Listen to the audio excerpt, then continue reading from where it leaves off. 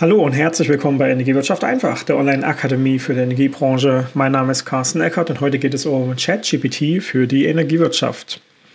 Jetzt werdet ihr euch denken, der macht das auch echt jedes Thema. Will der jetzt auch noch auf einen Trend aufspringen? Künstliche Intelligenz? Nee, tatsächlich hat es einen sinnvollen Hintergrund. Seit ungefähr einem Jahr halte ich äh, immer mal wieder Schulungen zum Thema ChatGPT oder eben ne, so künstliche Intelligenz, ähm, vor allem generative Text, KI, wir kommen gleich dazu, ähm, für ja, Anwendungszwecke der Energiewirtschaft, also von Stadtwerken oder äh, Energieversorgern, Netzbetreibern und so weiter. Das mache ich für diverse Branchenverbände. Ich werde euch auch am Ende zeigen, wo ihr mich dort findet, bei meinem Partner der Campus EW. Über die habe ich das jetzt schon für diverse Gruppierungen gemacht, also so Stadtwerkeverbände, Branchenverbände auch für Stadtwerke direkt. Also wenn ihr auch sagt, hey, euer Unternehmen bräuchte da mal eine Schulung oder will sowieso eine, fragt bei der Campus an. Ich kann das machen. Auch noch eine andere Kollegin. Wir schulen zu ChatGPT für die Energiewirtschaft. So, was ist der Hintergrund? Erstmal grundsätzlich, was ist das überhaupt? Ähm, ChatGPT ist ja ein Assistenzsystem für Texterstellung schlussendlich. Na, also dahinter steckt ein sogenanntes Large Language Model, LLM, na, ein großes Sprachmodell, was nichts anderes macht, als mal ähm, die Struktur von menschlicher Sprache verstanden zu haben. Das ist eine Software, die hat sehr viel gelesen und deswegen weiß sie, wie Menschen sprechen. Na, also wie Satzbildung funktioniert in allen möglichen Sprachen. Und ähm, deswegen kann es auf einen Satz, der irgendwie halbwegs sinnvoll formuliert ist, auch eine halbwegs sinnvoll formulierte Antwort schreiben. Ne? Das ist der Trick dahinter. Es hat sehr viel gelesen und weiß deswegen, wie menschliche Sprache funktioniert. Grob zusammengefasst. Und deswegen kann es natürlich auch hier äh, einige Anwendungszwecke haben für Menschen, die irgendwas haben wollen in so Texterstellungen, Standardaufgaben zum Beispiel oder Inspirationen, ne? so einen Anfang finden für irgendeine Aufgabe. Da ist ChatGPT richtig, richtig gut. Wenn ich zum Beispiel sage, hey, ich bin jetzt beim Stadtwerk und ich will äh, einen neuen Stromtarif einführen. Ne? Meine Projektgruppe will das jetzt weiter planen. Sage ich halt ähm, hier so unten in diesem äh, Chat-Eingabefenster, äh, ähm, was muss ich machen, um ein Projekt zur Einführung eines neuen, Achtung, Ökostromtarifs bei einem Stadtwerk, ähm, mein Projekt zu planen. So. Und warum kann der jetzt darauf antworten? Der hat ähm, auch Bücher, Fachbücher zur Projektplanung, Projektmanagement gelesen. Der weiß, was ähm, Ökostrom ist, was Stadtwerke sind und so weiter. Ähm, also nicht nur, dass, der, dass das System irgendwelche Webseiten und Wikis gelesen hat, sondern natürlich auch Fachbücher, Sachbücher und Co., die eben über die Jahre hinweg hier eingespeist worden sind. Es gibt dazu nochmal wichtig eine Unterscheidung zwischen der kostenfreien Variante ChatGPT 3.5 und der kostenpflichtigen Variante ChatGPT 4, die ich jetzt hier gerade nutze. Wenn ihr da äh, drin seid, könnt ihr übrigens jederzeit auch oben switchen. Ich bin jetzt, wie gesagt, gerade bei der Bezahlvariante wo man einerseits eine etwas langsamere Schreibperformance hat. Das seht ihr hier gerade und das dauert so ein kleines bisschen, ehe das geschrieben ist, weil diese höhere Rechenkraft für diese bessere Variante einfach so ein bisschen ja, Serverkapazität, Prozessorkapazität und so weiter braucht. Deswegen ist das hier gerade so ein bisschen langsam, nicht wundern, auch weil ich bestimmt 500 Browserfenster gerade noch aufhabe. ich mache ja auch noch ein Consulting nebenbei, äh, also eigentlich sogar hauptsächlich. Und da muss ich hier gerade noch ein bisschen was offen haben äh, nicht wundern.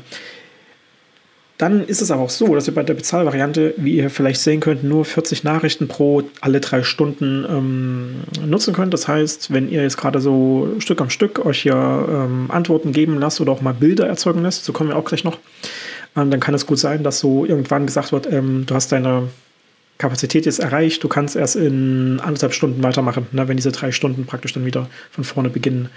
So, aber ist jetzt mittlerweile auch durch. Und ich habe ja nun gefragt, wie es ist mit der Projektplanung für die Einführung eines neuen Ökostromtarifs. Und dann hat er eben angefangen, ja, hier Marktforschung, da musst du das und das machen, Zielgruppenanalyse, Wettbewerbsanalyse, regulatorische Anforderungen, weil eben Energiewirtschaft, ne, ist also sogar ganz sinnvoll, Zertifizierung, Standards für Ökostrom, Tarifgestaltung, ähm, IT- und Prozessintegration, Marketing, Vertrieb, Kundenbetreuung, Service, Monitoring, Evaluation mit KPIs, Projektmanagement. Also durchaus eine sinnvolle Auflistung, die hier auch einen Wert hat.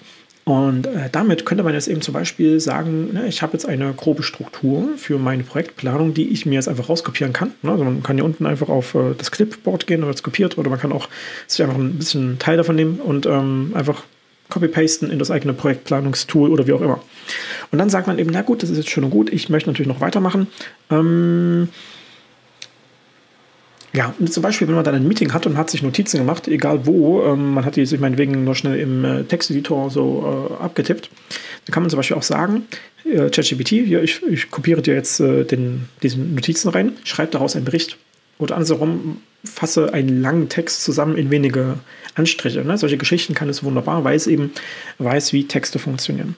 Und dann geht es mir immer noch darum, äh, Ökostrom hier zu machen. Ähm, dann kann man als nächstes zum Beispiel sagen, alles klar, ähm, schreibe mir fünf Facebook-Posts zur Einführung dieses Ökostromtarifs. Ich habe jetzt geschrieben, dieses Ökostromtarifs, weil ich im gleichen Chat noch bin. Also auch da, für die, die es schon mal genutzt haben, wenn ihr euch im selben Chat noch befindet, ist die Historie in diesem Gespräch immer noch präsent. Ihr könnt euch also immer noch mal auf das beziehen, was vorher schon mal geschrieben wurde.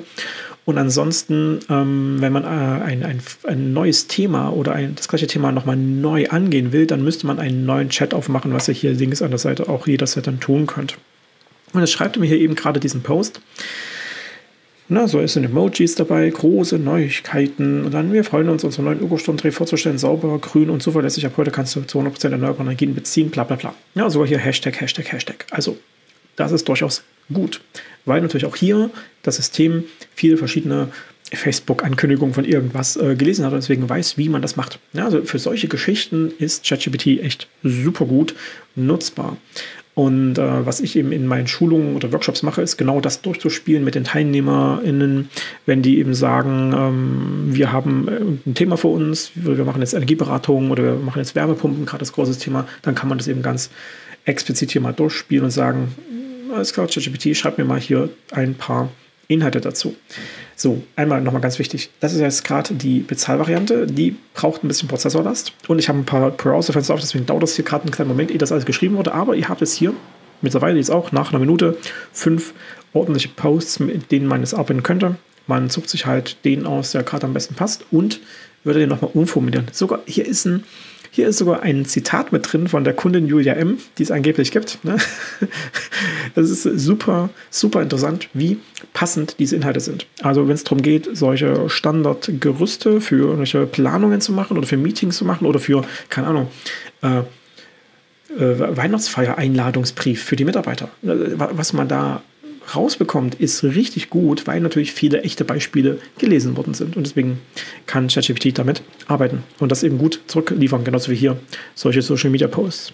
Und dann sage ich eben noch als ähm, weiteres Beispiel dazu, ähm, erstelle mir ein interessantes Bild für diesen Ökostromtarif. So, oder macht er das? Weil ich jetzt diese Bezahlvariante habe, da ist nämlich Dolly mit integriert, Dolly 3. Das ist eine richtig gute Bilderstellung ne, durch künstliche Intelligenz. Das Bild ist dann also auch frei erstellt, frei von Rechten. Heißt, es hat keiner, kein Mensch erstellt, sondern die KI hat das erstellt und deswegen ist auch kein Urheberrecht, keine Lizenz dahinter, sondern es ist dann Public Domain. Ich kann damit machen, was ich will. Ich kann das kommerziell verwenden alle Inhalte kann ich auch hier kommerziell verwenden. Und deswegen ist das ein cooles äh, Assistenzsystem, ähm, was man hier im Alltag eben nutzen kann. So, und jetzt hat er mir hier was erstellt. Und ähm, ja, also keine Ahnung, ich habe jetzt nicht viel dazu gesagt. Ich habe nur gesagt, ne, erstelle mir ein interessantes Bild für diesen Ökostromtarif mit der Historie davor. Aber nichts weiter gesagt, was ich drauf haben will.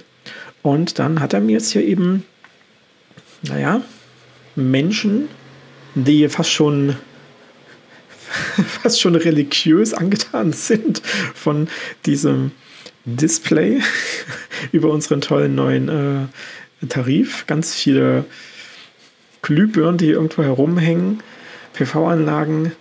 Das andere Bild ist auch gar nicht mal so schlecht, aber natürlich ein bisschen kurios.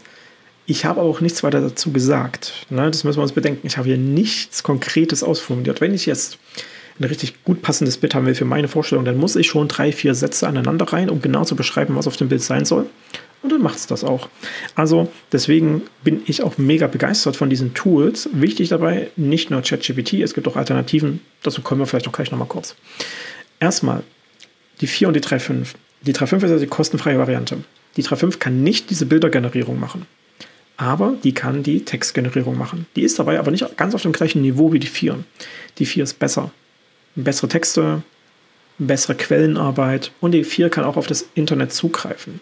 Also kannst du auch sagen, hey, nimm ein paar Infos von bdew.de, ne, vom Branchenverband und mach damit irgendwas. Das kann es. Die 3.5 kann das nicht. Ne? Wenn ich dir jetzt sage, was steht auf bdw.de, dann sagt die, er kann nicht aufs Internet zugreifen. Das ist der große Unterschied. Wenn äh, ich jetzt aber nur solche Textgenerierung haben will, also ich will nicht Bilder, ich will nicht Internet, sondern einfach nur, schreib mir irgendwas auf, dann ist hier die 3.5 auch ausreichend. Im Großen und Ganzen und das ist ja die kostenfreie Variante. Mit der könnt ihr also auch ohne weitere Investitionen arbeiten. Die 4, da müsst ihr über Kreditkarte 20 Euro im Monat bezahlen. Das ist nicht wenig, aber gleichzeitig für eine professionelle Nutzung auch gar nicht mal viel. Also für mich war das keine Überlegung. Ich habe das dann auf jeden Fall sofort gebucht, weil ich damit eine ganze Menge anfangen kann. In der 3.5er, wie gesagt, kann ich auch vieles machen, ähm, was einfach die pure Textgenerierung angeht. Ne? Schreib mir äh, fünf Kapitel für ein ähm, Buch über Energiewende und Digitalisierung.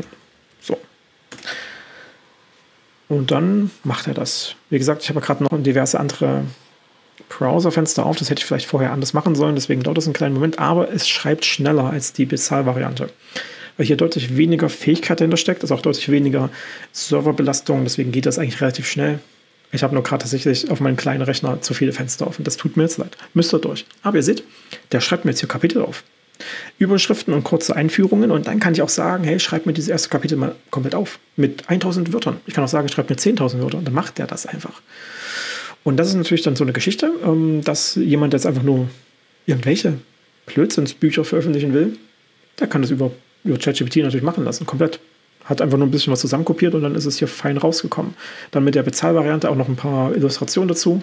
Schön, schön, schön. Und ihr seht auch hier jetzt in der Überschrift allein, ne, Energie und Digitalisierung, Konvergenz. Ja. Ich könnte jetzt sagen, schreib es nochmal, mit dem Zielpublikum junge Erwachsene oder so Teenager dann würde der auch eine andere Wortwahl verwenden. Ne? Aber solche Geschichten gibt es hier natürlich, das ist richtig cool. Digitale Lösungen, Smart Crits, Energieeffizienz. Also hier hat er wirklich, äh, der, der, hat ein bisschen was davon verstanden. Der hat irgendwelche Quellentexte also auch irgendwann mal gelesen. Blockchain hm, und Herausforderungen und Zukunftsausblick ist eigentlich auch eine sinnvolle Struktur, ne? so vom, vom Aufbau her. So äh, chronologisch kann man so arbeiten in einer Kapitelauflistung. Also da kann ich nur empfehlen, mit diesem System zu arbeiten und sich das genauer anzuschauen. Zur Vollständigkeit. Ähm, ich glaube, ich habe es noch als BART abgespeichert. Mittlerweile heißt es aber Gemini. Google hat natürlich auch eine Variante selbst rausgebracht. Nicht wundern, ich heiße hier äh, Energiewirtschaft einfach, weil das mein YouTube-Account ja ist. Deswegen werde ich hier angesprochen als Hallo Energiewirtschaft. Hier ist genau dasselbe vorstellbar, nur dass hier natürlich auch die Google-Suche direkt mit dran ist. Ähm, da geht es auch weiter, dass demnächst äh, auch hier Bildergenerierung und sowas mit direkt integriert ist, aber da muss man so ein bisschen einfach abwarten. ChatGPT äh, erweitert sich ja ständig, da ist jetzt auch Videogenerierung mit dabei, aber noch nicht freigestellt für Nutzer, sondern erst für eine kleine Testgruppe. Ähm, ist auch richtig gut. Und, und, und äh, die Google-Variante Gemini entwickelt sich auch ständig weiter, auch diverse andere Varianten. Ähm, Claude zum Beispiel ist so das, das dritte große System. Da ist auch viel Entwicklung zu sehen. Ne, kann man auch genauso nutzen. Und Gemini als solches in dieser Variante ist auch erstmal kostenfrei, genauso wie die GPT-3-Variante. Wer aber so in der Google-Welt ist, kann das auch direkt nutzen. Und als letztes, das bin ich auch nicht sicher, ob ich überhaupt eingeloggt bin, äh, Adobe Firefly. Kann sein, dass ich hier nicht eingeloggt bin über diesen. Ja, genau, ich bin nicht eingeloggt. Ähm, aber auf meinem anderen Rechner habe ich ja eine Adobe Creative Cloud ähm, Lizenz, weil ich ja Photoshop und Premiere und so weiter nutze, also diverse Tools von Adobe. Und dann hat man auch einen Zugriff auf Firefly. Da kann man alles also auf dieser Webseite hier Bilder generieren lassen. Also für wen eher die Bildergenerierung ein Thema ist, für den kann eventuell Firefly wenn er sowieso Photoshop und so weiter nutzt, das Thema schlechthin sein, weil dann hat er das eh schon und kann hier eben auch Dinge eintragen und sich dann Bilder erstellen lassen. Und ähm, kann über diesen Weg hier auch mit Photoshop arbeiten. Wenn ihr das schon mal gesehen habt, dass in Photoshop plötzlich ne, erstelle einen neuen Hintergrund hinter dieser Auswahl, die ich markiert habe, und dann ist da plötzlich ein ausgedachter Hintergrund. Das ist Firefly. Man kann ja einerseits also neue Bilder erstellen lassen, man kann aber auch in Photoshop und Co. Äh, krasse Effekte einfach durch künstliche Intelligenz ähm, entstehen lassen. Das ist sehr, sehr, sehr cool. Und damit kann man natürlich auch viel Spannendes machen. Also sowohl im Kontext ähm, mach ein bisschen Textunterstützung, mach mir ein bisschen Projektplanung, Organisationsplanung, kann der einem gut helfen, als auch dann nachher bei meinetwegen äh, Produkteinführung und dann eben auch bei dieser Bildergenerierung sind da sehr, sehr interessante Geschichten dabei. Und wenn ihr das mal wollt für euer Stadtwerk oder für euren Branchenverband, fragt mal bei der Campus EW an. Der äh, Kontakt ist dann auch hier irgendwo äh, weiter unten mit dabei, hier unten, ne, Kontakt. Und sagt halt, ihr möchtet gerne eine ChatGPT-Schulung eventuell von diesem sympathischen jungen Mann hier. Und dann können wir das bestimmt auch organisieren. Und dann ähm, werden wir ein paar Stunden lang drüber sprechen, was man da alles Tolles machen kann. Und äh, ihr kriegt einen Foliensatz mit den diversen Links äh, zur weiterführenden Bearbeitung. Okidoki. Also, ich kann nur empfehlen, mit solchen Systemen zu arbeiten, weil einem das durchaus den Alltag erleichtert. Insbesondere, wenn man manchmal so vor irgendwelchen Texten ähm, oder vor der Aufgabe steht, einen Text zu schreiben. Egal was, auch ein Brief an irgendeinen Marktpartner oder an den Kunden oder ist eben, wie gesagt, ein Einladungsbrief für irgendeine Veranstaltung. Und man denkt sich so, oh, was soll ich denn jetzt schreiben? Oh, suche ich mir eine alte Vorlage raus. Man kann auch einfach sagen, hey ChatGPT, schreib mir mal Brief so und so. Und dann kommt das da raus. Einzige Sache noch als letztes, alles, was man reinschreibt, kann prinzipiell von dem System zur eigenen Verbesserung auch genutzt werden. Grundsätzlich. Man kann so ein paar Sachen auch ausstellen. Aber seid euch bewusst, dass das ein Fremdsystem ist, was in der Fremde gehostet wird und was ja sich dadurch verbessert, dass die diversen Eingaben und Ausgaben auch bewertet werden und interpretiert werden. Also würde ich schon davon ausgehen, in einer heutigen Welt, dass alles, was ich da reinschreibe, auch prinzipiell als öffentlich betrachtet werden muss. Das heißt, unternehmensinterner pseudonymisiere ich vorher oder anonymisiere ich vorher. Ja, und dann schreibe ich eben nicht von meinem Stadtwerk Musterstadt, sondern schreibe ich einfach von einem Stadtwerk. So, und so weiter. Ne? So müsst ihr euch das vorstellen. Und dann ist es auch problemlos zu nutzen. Aber eben die Integration in den Alltag, das ist schon so ein Thema. Wenn euer Haus ähm, sowieso Microsoft 365 nutzt, dann kann es gut sein, dass ihr diesen Copilot, der auf ChatGPT auch schlussendlich basiert, in euer Office komplett integriert bekommt. Das ist aber eine, ähm, ein, ein Bezahlabonnement. Also kann gut sein, dass es nicht bei allen gemacht wird oder eben nur, äh, vielleicht auch gar nicht. Oder eben sich mit der Zeit das weiterentwickelt. Aber im Moment muss man schon ein paar Euros noch extra drauf bezahlen, damit man diesen Copilot integriert bekommt. Und dann kann man direkt in, in Word oder in PowerPoint die KI für einen arbeiten lassen.